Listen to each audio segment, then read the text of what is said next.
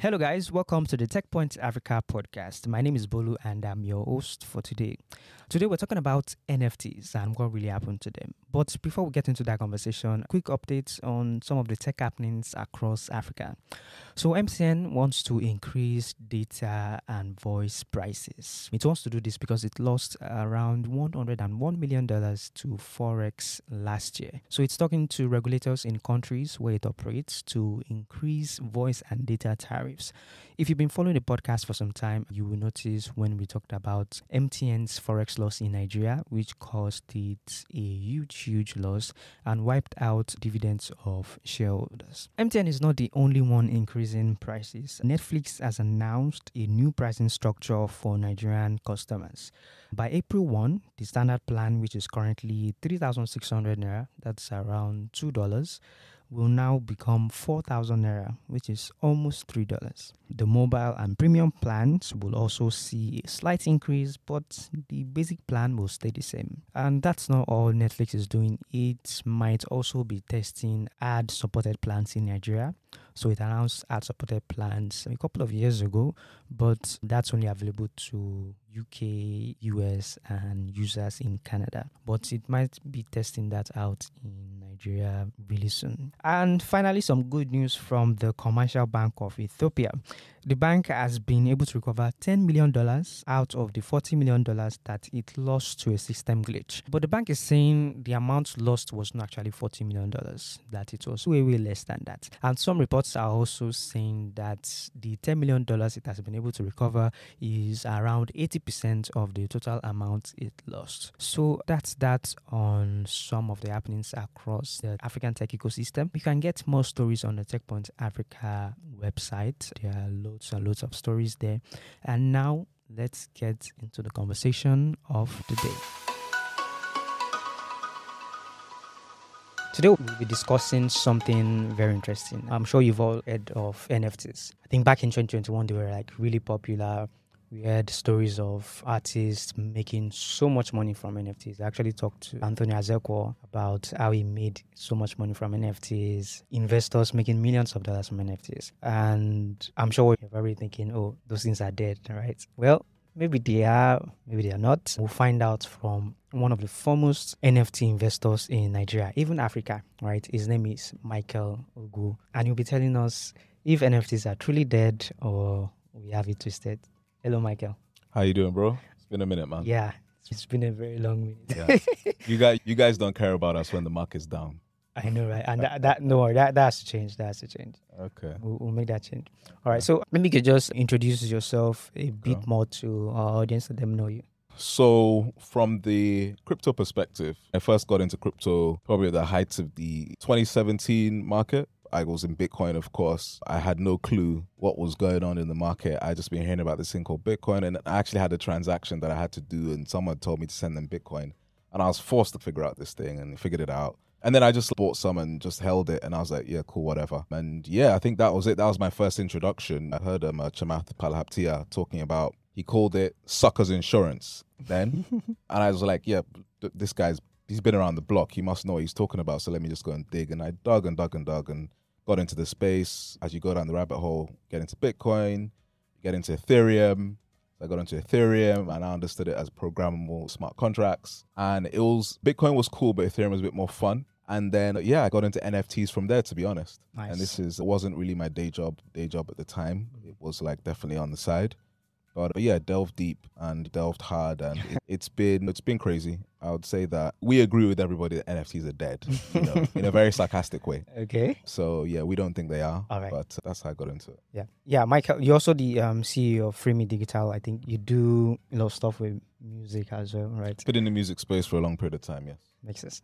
All right. Let's now let's move back to NFTs now. I know you were like one of the like foremost um, people that bought into some of the most, I think, some of the most profitable NFTs at the time, the Crypto Punks and the Bored Ape Club.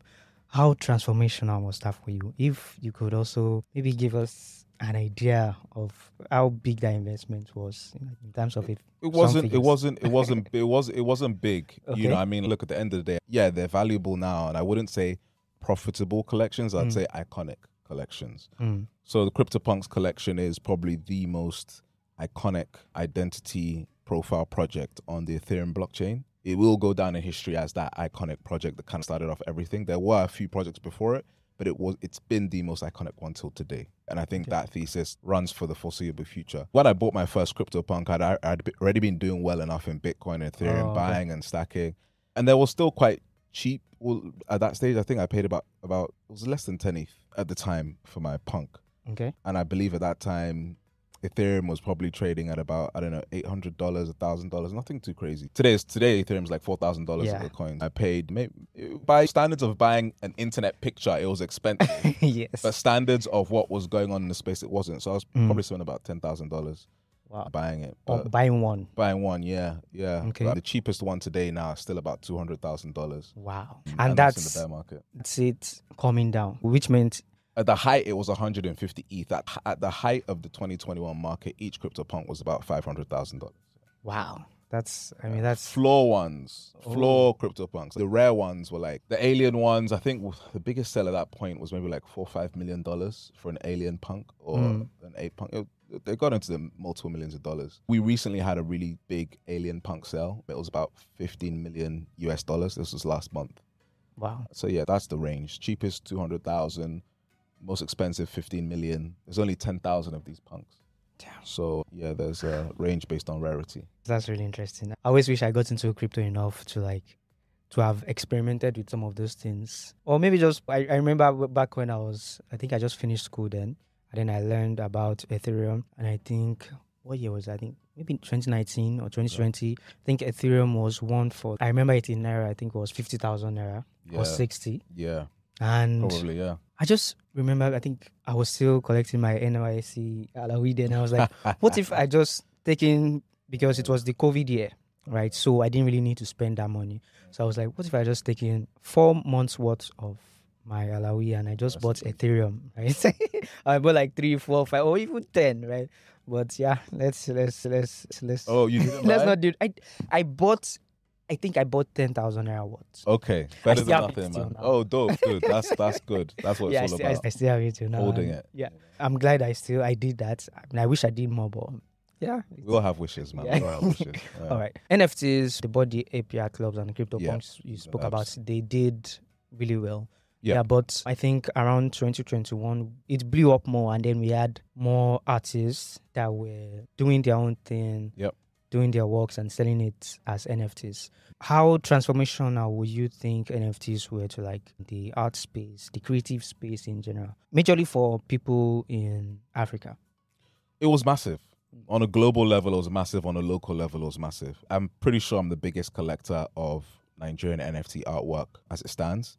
And for me, the two biggest artists to come out of this space are Osinachi and um, uh, Azekwoh. Mm. There are other artists that I do uh, have collected as well, and I still do collect. But you know, it was transformational. I mean, you're you're, you're talking about going from a, a spot where your art is limited to physical boundaries. Um, if you find an international buyer, you need to. It's first, it's going to be hard to find an international buyer on the traditional art market. And then if you do, it's okay. How do you arrange payment? How do you arrange shipping?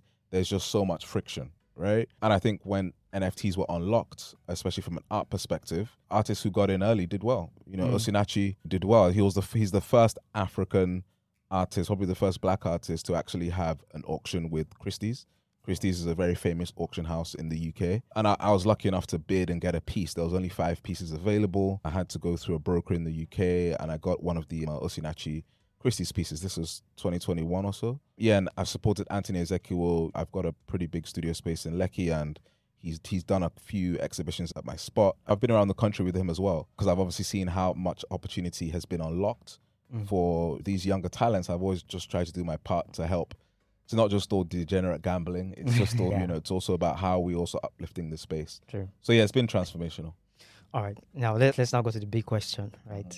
Um, you know, you've talked we've talked a lot about how transformational they are. Talked a lot about how much money people made, things like that. So what happened? We just didn't hear of NFTs again. Everywhere just went quiet, and I, I remember talking to some people that I, I even consider big on crypto, things like that, Yeah. and we are having a conversation, and they were like, "Wow, I'm so surprised that something that huge could just phase out out of thin air. What really happened?" Whoever you spoke to and that didn't really, they don't understand our Mm. space. You need to look at the entire crypto industry from a macro perspective, right? Everything is based on four year cycles primarily. We know this pretty well. Bitcoin has been around what to 2009, it's better part of like maybe 15 years or so, right? And it, it's guided by these cycles. Also, there's macro as well, like what's happening with the business cycle. What is is the federal government pr- printing? Are they tightening? What's liquidity like? But largely speaking, Bitcoin as itself as a network, it goes to what we call the halving every four years. Yeah. And the halving is actually coming up in April. And what had actually happened at the time, so we knew that at the point of the halving, we knew that the network was going to get tight. And once the network gets tight, it gets harder to like to mine Bitcoin, and that just squeezes supply. And then when there's demand, prices are going to go up, right? And mm. because it's a scarce asset, that's what drives the bull market primarily. Bitcoin is always roughly about 45, 50% of the entire crypto market cap- Yeah. capitalization. NFTs are just literally a beta play on on something like Bitcoin or Ethereum. Let's just say Ethereum, because then NFTs are just on Ethereum. So it wasn't surprising to me that the market came to that kind of like grinding halt. It was always going to happen. I think that because it was my f- I, at the first cycle I had, I was still learning. The second cycle, I didn't time my exits well enough. This is my third cycle for all intents and purposes now. But but yes, and like a lot of people managed to exit the markets on time because they understood this is the cyclical nature of these markets, and they moved to other assets like stablecoins, fiat stablecoins, or just BTC, which weathers these bear markets the best. Right. So Mm. anyone who says that they didn't understand how it was gonna how it crashed, then you don't you didn't really understand. It was always gonna happen. It's the same way that it's gonna happen this cycle as well. We just entered a bull.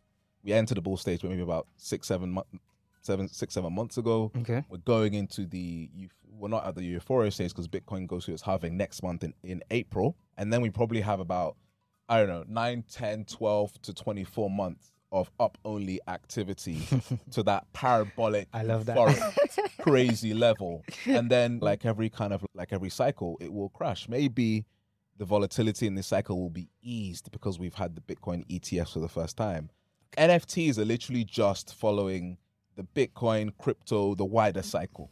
Okay. do you understand? And now we have nfts on bitcoin nfts on ethereum nfts on solana Mm. nfts across multiple chains we're going to see more of how that's going to play out Okay. at the end of this cycle All right. So basically, you're saying what happened was they just followed the same trajectory as the way the crypto market goes Exactly. up and down. Exactly. right. And So- mm. liquidity would actually be sucked out of NFTs first Mm. because they're illiquid assets, Mm.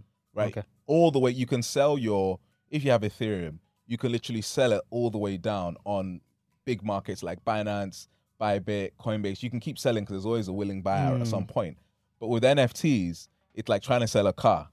If Mm. no one is coming to see the car, or if everyone's seen the car and saying, I don't like the car, you can't sell it. There's no liquid markets for NFTs. Yeah. So it was much harder for that market took a took a it's taken a beating, let me not lie. It's Okay. taken a bad beating. Okay. The funny thing is, while people say it's dead and while the noise isn't as much, even after all that time, I remember I know a particular guy that was talking to me about getting into, I think they call them alphas or something. Alpha chats. Yes. And Yeah. I could actually, that people are still making money from Yeah. NFTs. For sure. How how does that how is how does that market really happen? I think it's on it was on the Solana blockchain. It, Okay. di- it didn't really say more about Ethereum. What's really going on within that market? Is like a closed market where people just make money from? I- I don't really get it. To be honest, the fact of the matter is NFTs are our NFT specifically, Mm. it's culture. right? Mm. It's just culture on the blockchain. When you look at things like CryptoPunks, Bored Apes, Autoglyphs, Fidenzas, Ringers, X Copy Art, Hackatao Art, the whole kind of like broad range of like crypto art, right? It's it's just culture on the blockchain. So when you start talking about alpha, alpha is more like probably the, the tradable projects, the kind of like the pump and dump projects. Mm. Because any if you buy traditional art, you're not buying traditional art to sell it the next day. True. There's no alpha chat True. to go and buy a, an expensive piece of artwork. What's happened is wealthy people used art as almost like an inflation hedge historically. Mm. mm. Because if you go and buy a Picasso, you're pretty sure that it's the only Picasso, so it should only literally accrue value, right? Because mm. we we all agree that Picasso, Michelangelo, Banksy, all these artists have some kind of value. Mm. So over time, it's not going to really go down in value, right? So when you start talking about art NFTs, yeah, you don't need to go into this kind of like alpha chats. You just need to understand the space. When you start talking about alpha chats, yeah, there are projects that if I bought it at one ETH, I need to sell it at at five ETH. Yeah, I, but I take a different perspective on on the space. Yeah, a lot of people need to understand that too, and I, but I think it will be hard for people to understand that because of the close ties NFTs have with the crypto market. I mean, you can't really separate them. You Right. can't. No. But then I Possible. think there needs to come a time where NFTs become the next thing from what you said something about how rich people buy art and then Mhm. they but then I think there needs to come that time where NFTs just become that way to buy that kind of art, but do it in a more digital manner. Do you think that that NFTs will become like their own thing, separate from crypto? Crypto is just something that help people do it.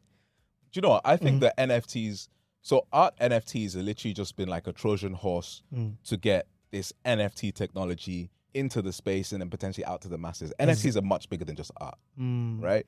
It- an NFT is, is a non fungible token. So Bitcoin is a fungible token, right? A non fungible token is a unique kind of like item. So I believe that at some point, our driver's license will be NFTs. Okay. When we book a plane, the ticket will come as an NFT. When you book a hotel, your hotel reservation will be an NFT. When you go to watch a basketball game or a football game, when you get your university certificate, that will be an NFT and it will be all registered on the blockchain. So art has just been the way that media and the masses who have been interested early on have got to understand it. So they think that NFTs are just art Okay. but it's bigger than just art. Mm. There's art within it. It's just taking any kind of like tangible asset and saying, okay, let's register on the blockchain, and like I say, you get mass adoption. It's it's, it's a wide space. NFTs aren't going anywhere. Mm. If there's anything that I know that NFTs are not going anywhere at all. Yeah. So I think what, what really happened from what you said, I, I think what happened with NFTs is there's this thing in technology where once there's a new type of tech, Mm-hmm. there's a lot of noise Sure. at first. Sure. And then there's this arc. They they describe it with an arc. And then there's a lot of noise. People talk about it a lot and then it comes down. Yep. And then at that point where it comes down is where real people now start working on Innovation happens. That is where the real innovation happens. Yep. It's not during when the, The hype noise. cycle. yeah. No.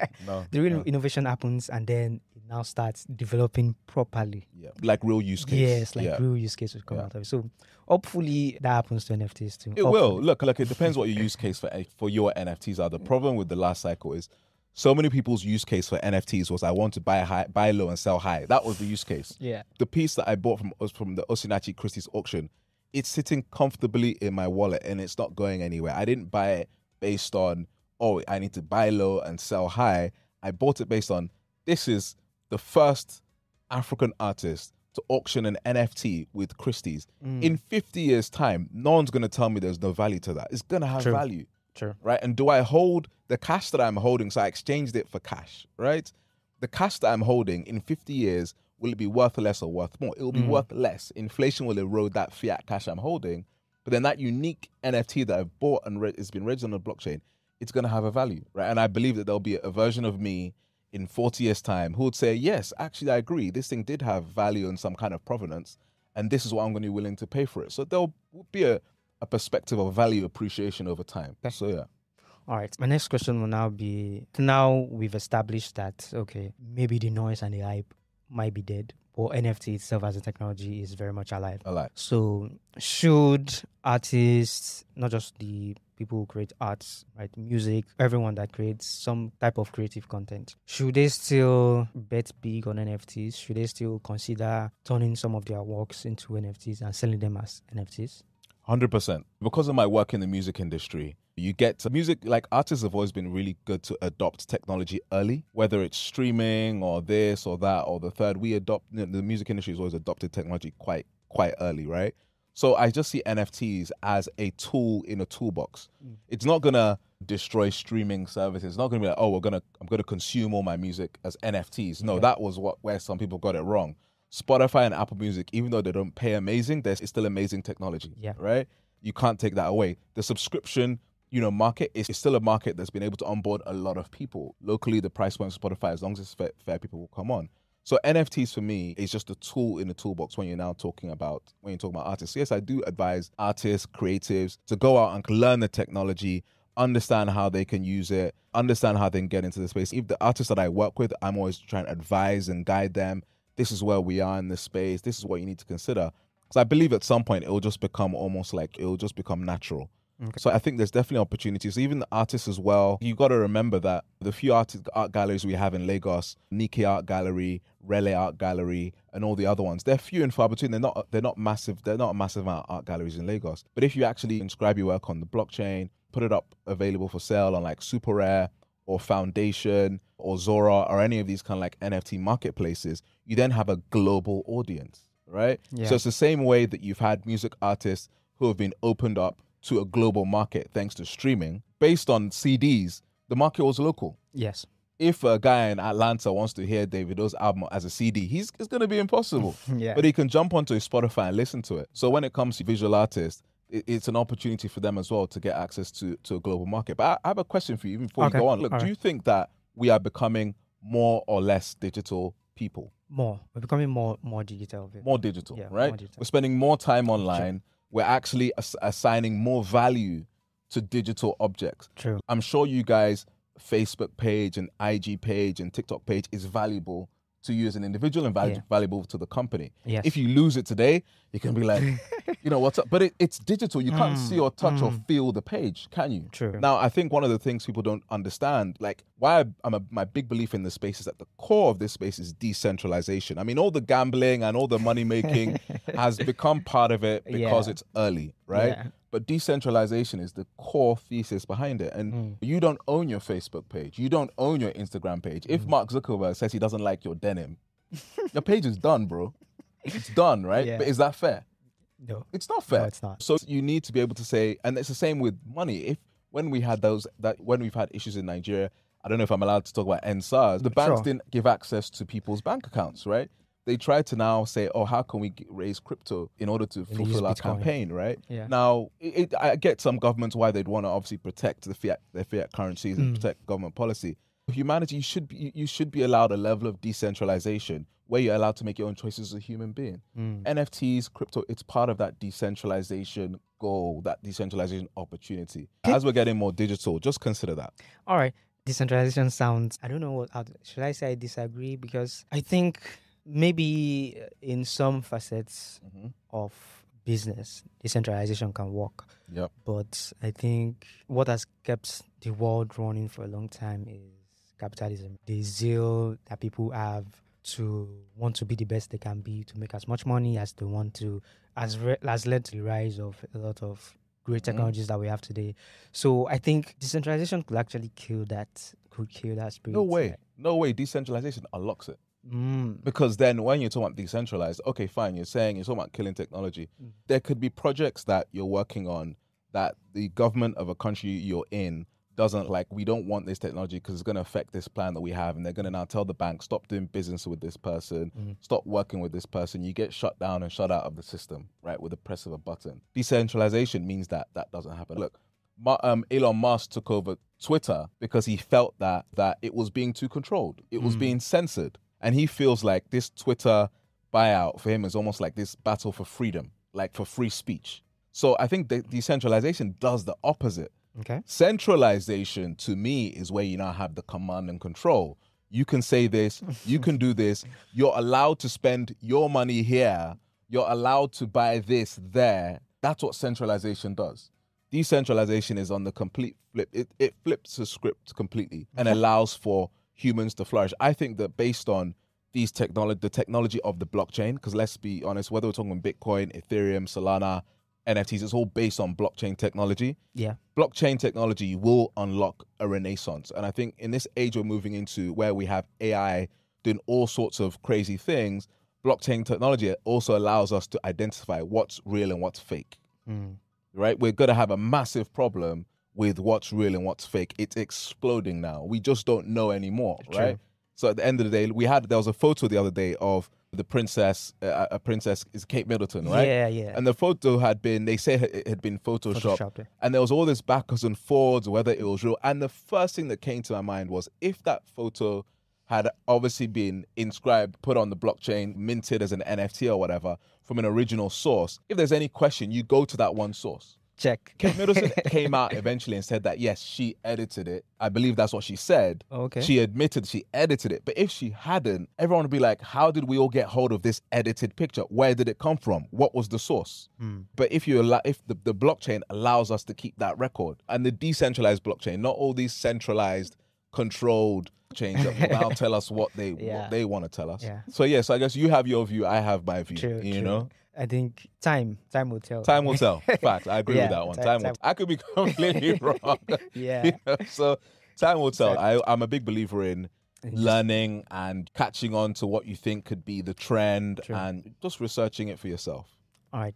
Yeah. Speaking about music, right? Yeah, you Yep. a lot about music. I just remember that you were actually at the you at the Grammys. Yes, I Um, was. yeah. Good year. Good year. yeah. Bad result, but a good year.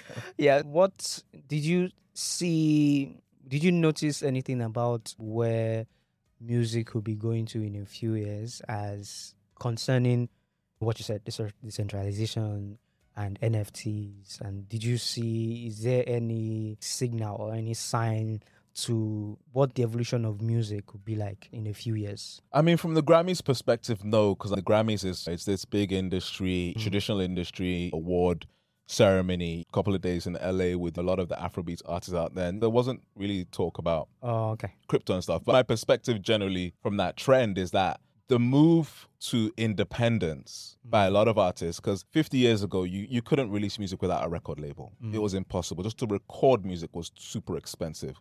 Now people are recording music in their bedrooms and everywhere, releasing it via distributors like my distribution company and getting it live for the world. I definitely think that as we move towards independence, artists are going to need more tools in order to figure out who their super fans are. And I think that NFTs do a perfect job there. So e- even if you go on TikTok or Spotify, there's no way to really identify your core true fans. If your song is trending right now, it's trending right now. But there's some people who, whether you release a good song, a bad song, a mid song, they're your fans, they're your fans. And I think there's a, that concept called 1,000 true fans. We saw artists like Nipsey Hussle. If Nipsey Hussle was still alive, rest in peace, he would be championing stuff like NFTs. I guarantee it. Because with your 1,000 true fans, and this is what I've told artists before, let's just imagine you're Wiz Kid and you're starting out, right? And then you drop an NFT, and then your community buys into the NFT, or you just airdrop it to your community. And it doesn't do much, like other than register you as your community member. Maybe it gives you access to a WhatsApp group, or a Discord group, or a Telegram group, or gives you access to some kind of like behind the scenes stuff. All that stuff is neither here or there. As a super fan, you're gonna be happy just to be that core. But five years down the line, you can actually go back and check who are my super fans, who still had the hmm. NFTs, hmm. which wallet did I drop my NFT in 10 years ago? Then you say, okay, who owns this wallet? Do you understand? You can be like, okay, fine, you've been my fan for 10 years. This NFT that I dropped 10 years ago before I was blown or whatever, I'm going to airdrop, whether it's cash, whether it's tickets to a show, whether it's some kind of like private event to a dinner with me. You can then say, okay, you were my day one. Davido, Wizkid, Burna Boy, there's no way for them to tell who are their day ones right now Hmm. in 20 years time as th- this technology improves and we see artists utilize, utilizing as a tool almost like a membership club tool in some aspects you will know who your day ones are and then you can go back and reward your day ones you followed me when i was nothing Hmm. you bought my album when i was zero and you still believed because we i know this game you get to a super, that superstar level there's so many people around you who claim they were there when they weren't there. They just saw the, the your heat, saw how hot you were, and they tried to get as close as possible.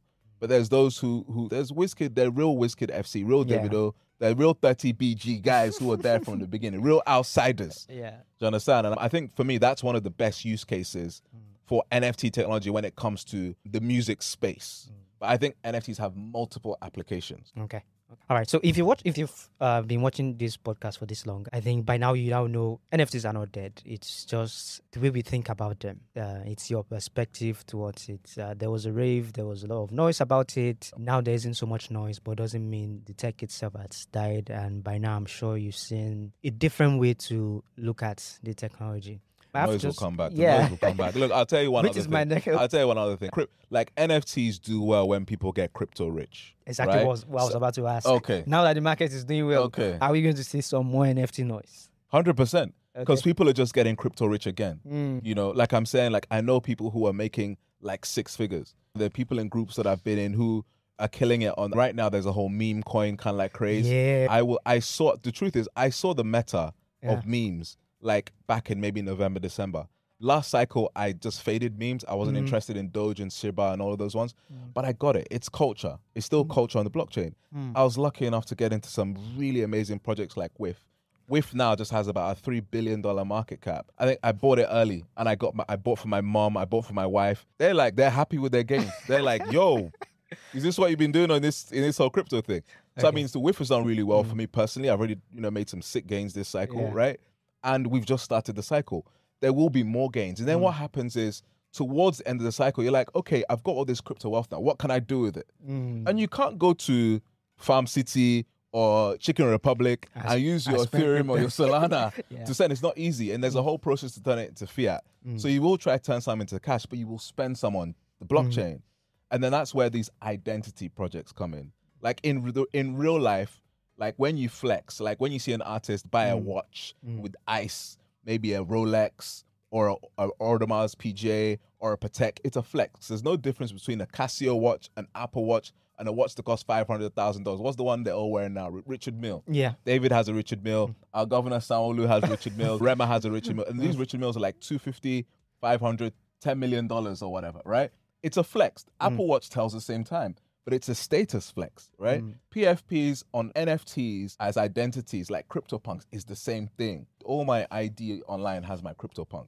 Okay. And it's almost like I'm signaling to people that, yeah, I was early in this space, Mm. that this is who I am. Show me some respect. You can have a PFP of something that make that, that means nothing. Not everybody's into the watch game. Everyone picks their games. Some True. people it's the car game. Some people it's the Banana Island House I want game. Some people it's the private jet game. Some people it's the watches game. Some people it's the digital identity game. I, am not rich enough to figure out my own game. Bro, it's not. It's not. It's not about. Being, it's about. See, this cycle, there will be projects, Yeah. NFT projects Mm. that mint millionaires. Alright. Defo, right? And I they get- haven't even started yet. They're still on zero or they haven't started. I'm telling you that. All right, guys, I'm going to create a small, I don't know if it's Discord or WhatsApp group, very close group with Michael, but then I- I it will cost you money. I die. It's cost you money to get in. Business for us. Yeah, they buy my own alpha, and everybody just. I had a Discord group, but it's a lot, it's stress to run. But uh, I may open it up again. But I sh- I share information okay. when people hit me up on my IGDM or people On who know Twitter? my WhatsApp. Yeah, I don't. End of the day, Mm. these are all like bets. Everyone has to be ready to take the risk. yeah, you know. So something I keep telling people. Just you just have to ready to take the risk. take the risk. I just got an idea. Do you do you know WorldCoin? Yes, and I, I have a thesis on that as well. Yeah. I just you know you said identity projects Yes. could become big, Yes. and Still open it. once I leave here, once I leave here, I'm going to go and spend some money on the WorldCoin WorldCoin. token. Yeah, yeah, yeah. I actually, I won't lie. I was put off by the project when they had these like orbs. yeah. They were going around the world and Kenya. telling you, Mhm. "Let me scan your eyeball, and I'm gonna give you some tokens." And I was like, "Nah, get out of here." I think that's dumbed down a little bit, Okay. and I think it's an interesting project. And Mm. because of the fact that we've seen what ChatGPT has done, Mm. it's the same guy, Sam Altman. True. It's True. the same guy. So if we, I'm sure a lot of people use ChatGPT Mm. today, right? So if we've seen where AI AI is going, what these LLM models are doing, Mm. I think that Sam knows what he's doing with WorldCoin Yeah. in terms of like identity. That'll be awesome. Probably going to be my own project that catapults me into that. Amen, bro. Amen, bro. Check the market. Buy some meme coins as well, man. Yeah, I just, I've just not choose- you know, there's, there's a new slogan that we have in this space. Last cycle, the slogan was we had a few slogans. Was Okay. we are gonna make it, which is WAGMI, Wag me, yeah. right? And then have fun staying poor. right? Because as everyone was getting rich, we'd be like, have fun staying poor. I mean, we all got poor the last two years. Don't get it wrong. But this cycle, the way I see it, the slogan that we like so far is called choose rich every time. Choose rich. Choose, I'm choose choosing rich, every time. I'm choosing rich. Like choose rich every time, bro. Like something you say in church. I swear. I choose rich. Choose Tell your neighbor. rich. Yes, now. choose You don't choose poor now. you don't choose poor. choose rich every time. Yeah. You know, awesome, so awesome, yeah, awesome. yeah, yeah. it's been a really fun conversation with Yeah, you. man, uh, yeah, man. It's all love. It's all Yeah, good. Um, guys, now you know more about what's really going on in the NFT market, what's also going on in the crypto market. It's these are exciting times. I'm sure soon, very soon, things will evolve beyond us just making money from these markets. I'm sure very soon they will have more reward use cases on how we live our lives Sure. and things like that. So, yeah, For sure. yeah. Let's Looking Hundred forward. percent. Yeah. Please, people, don't fade crypto. Yeah. It's a crazy space. What I always tell people that yes, people tell me there's so much scams. Mm, Ninety-nine percent of NFTs last cycle, I won't lie, they were like grimy. A Mm. large chunk of them, but you got to find that one percent. find That one 1%. It could change your life. It can change your perspective, Mm, and you can hold these things for a long term, like you hold property mm. and um, what have you. So don't fade the space. I'm not a crazy guy, right? Try Yeah. listen to me. Yeah, awesome. I mean, listen to Michael. Michael has been in the space for just Google CryptoPunks, Google Bored Ape Yacht Club, and you know that he knows what he's talking about. All right. Yeah, very interesting conversation with you, Michael. I hope by the next time we do this, I will have made my own millions. Yes, own Bitcoin. For All right. sure. yeah. All right. Make sure you follow our social media pages to get more updates on what's going on in the world of tech in Africa. Make sure you follow our newsletters. The Techpoint Digest um, gives you a daily roundup of every, everything going on in tech in Africa. If you're into investments, you want to know how VCs invest, how angels also invest, you want to subscribe to the Equity Merchant newsletter. Trust me, it's it will be worth your while. Um, that's anchored by Tim Grozerim, and I think he has spoken to at least probably almost a hundred investors, so he knows what he's talking about. Um, also in the workspace, right? You want to know what's going on with work. What's how do you hire the best employees? How do you make sure employees stay? Or as an employee, you want to know how do you get the how do you get the best deals right from your employer? You want to subscribe to the Workplace Africa newsletter. That'll be all from me and Mike today. Make sure you share this with your friends, family, everyone, and have a what's the new slogan for this? Okay, can I swear? Oh, eh? Can I swear? Ah, which- oh no, man, no. she's Okay, because there's two. Okay. But look, trust me, yeah. Choose rich choose rich every time. every time. That'll be all from us. Bye.